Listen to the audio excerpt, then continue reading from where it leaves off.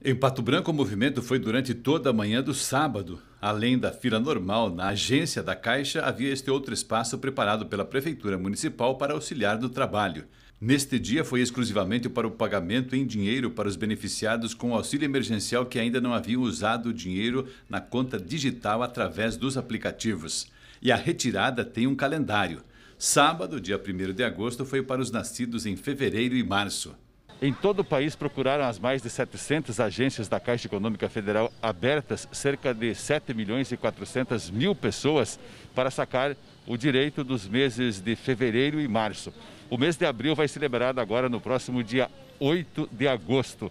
Os servidores da Caixa Econômica Federal não podem gravar entrevistas, mas informaram que muita gente que veio até aqui perdeu a viagem porque não era para sacar o auxílio emergencial.